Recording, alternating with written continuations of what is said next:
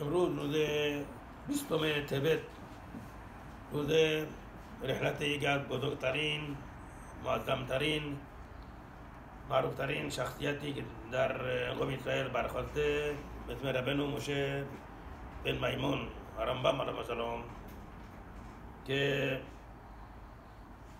واقعا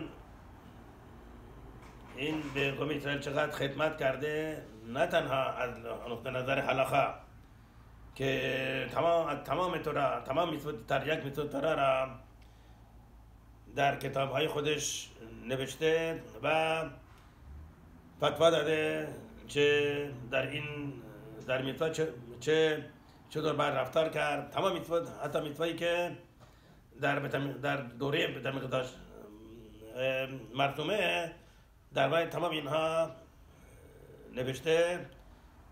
طوری که هیچ کس مثل این شبیه این نبوده که تمام تورا را بنویسه و به طور مشروع واضح و فتوا بده که چطور باید چه کار باید کرد.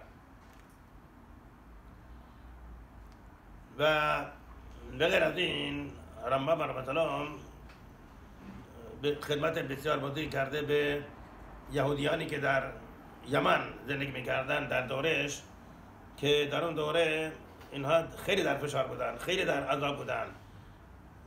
برای از طرف دولت یمن به اینها فشار آورده بودن که مذهب خودشون را تغییر بدن به مذهب اسلام.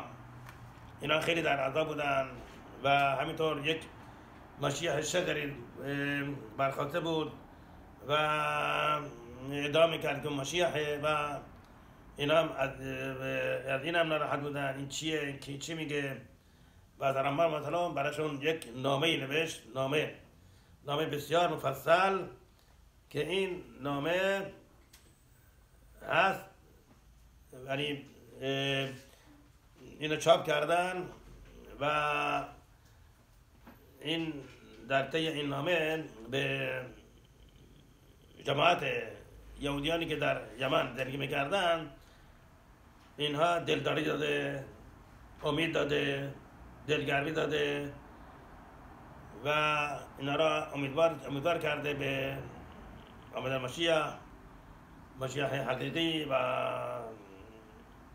که اینا مایوس نشن و از فرد فشار و تنگی که در گالود هست اینا حتی از مذهب در نرن بیرون نرن. بالاخره اینا را خیلی به قوت قلب داد و به خاطر این خدمتی که به اینا کرد تصمیم گرفتن که از این به بعد در قدیش که میگن به حیه خون که بخون حیه دخول اسرائیل و حیه ربن مشه بر میمون که به حیه خون که بخون که میگیم در قدیش که در طی ایام ما ایام شما که مشیح بیاد و طی ایام زندگی ربن موشه بر میمون. اینطور اینطور قدیش می‌گفتن. تا وقتی فوت کرد دیگه اینا حذف کردن. خب در هر صورت چون یهودیان یمن یمن از این رمبان بسیار نجات روحانی کسب کردن بنابراین بر خود قبول کردن که تمام فتواهای حرم را حرمبم بر خود قبول می‌کنن. یعنی هر جایی حرمبم فرماد این متاره متاره این اسوره اسوره این بر رفتار که این رفتار. حتی اگر سایر حقم اسرائیل با این موافق نباشن. و در می‌دونیم که مران شلحان عروخ ربنا یوسف بخار علیه السلام خیلی به فتواهای رمبام ملاحظه می‌کرد اهمیت می‌داد اهمیت قائل می‌شد. و در خیلی از جای سناروخ عقیده رمبام را ذکر کرده. و یکی از حلاخاتی که خیلی مرسومه در هر شبات برای هر کس پیش میاد این موضوع پختن گرم داغ کردن خوراکی ابکیه مثل آبگوشت. که اگر این آبگوشت سرد باشه طبق عقیده خیلی از حاکم اسرائیل که مران عروق طبق فتوا داده و اینطور در عروق اینطور نوشته که اگر این گوشت حتی اگر یک کمی از گرماش کاته شده باشه یک کمی یک کمی بلند شده باشه اگر ما این این کاته آبگوشت دیگه آبگوشت رو بذاریم جایی که داغ بشه این بدین که ما پختیم و ما حلو شبات صد درصد ما مرتکب شدیم. برای ما سفردی ها فقط خوراکی خشک که آب آبکی نباشه. می‌تونیم نه که بدن روی آتش البته در صورت آسوره بلکه منظور اینه بذاریم روی بلخ جایی که روی آتش نباشه نباشه بلکه کمی از از شولی آتش دور باشه اونجا اگر این خوراکی خشک باشه داغ داغ هم بشه اشکال نداره ولی اگر این خوراکی آبکی باشه میگم گوشت این اگر جایی بذاریم که بعدا داغ بشه داغ یعنی چی؟ میشه 45 درجه سانتیگراد سلسیوم یا تقریبا میشه تقریبا حساب کنیم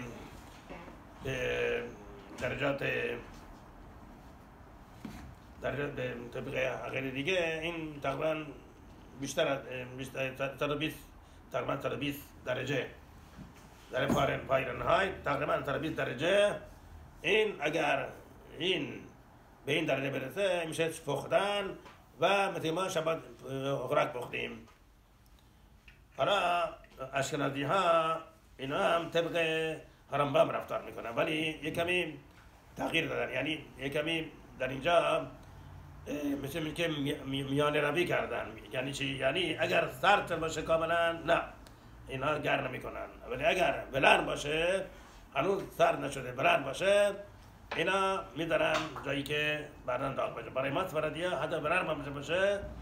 اصور پخت. این گرم کردن اصوره فقط اگر داغ بشه. شاید 45 درجه سانتیگراد یا سر تقریبا سر 20 درجه فاینل های تقریبا در حدود این. این میشه ما اینو بذاریم جایی که داغ بشه. ولی اگر که بلند باشه اصور مثل پختن منه.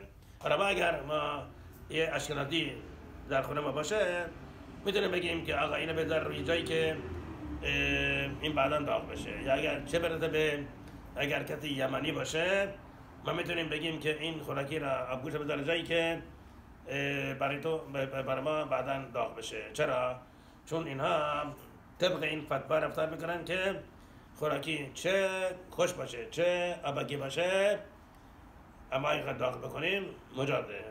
ما چون طبق اینا مجازه ما می‌تونیم بگیم که آقا اینو بذارید جایی که برای شما برای ما بعدا داغ بشه این مجازه و اشکال نداره. ولی ما برای سپردی ها این کار اصوره حتی اگر به بچه کوچک بگیم که این به در جایی که داغ بشه اصوره فقط به یک نفر شخص یمنی یا اشکنازی می‌تونیم بگیم این کار بکن.